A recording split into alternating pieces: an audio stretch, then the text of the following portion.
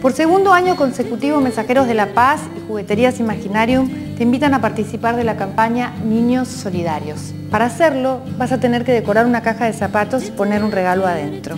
Entre todos vamos a hacer felices a muchos chicos en distintos puntos del país. Solo con una caja de zapatos y un rato de tu tiempo vas a poder ayudar a muchos chicos y hacerlos felices mucho más de lo que te imaginas.